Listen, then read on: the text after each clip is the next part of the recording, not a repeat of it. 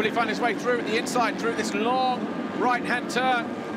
He'll jump to the inside. Monticelli closes the door in front of him and then tries to go too defensive, but Anstie will carry that speed around the outside, forces the issue, forces Monticelli wide. Anstie, great move to get into third place on lap two.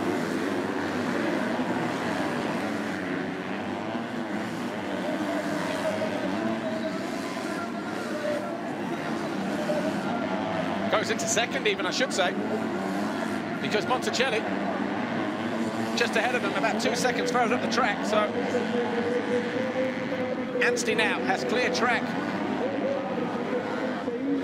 Ooh, a bit of a wobble on there from Monticelli. That allowed Anstie that impetus to get close. And then he just went too defensive. Anstie sensed his opportunity, went around the outside. Hard, aggressive move. I think that's how you've got to be around here to get the job done. Anstie now in second.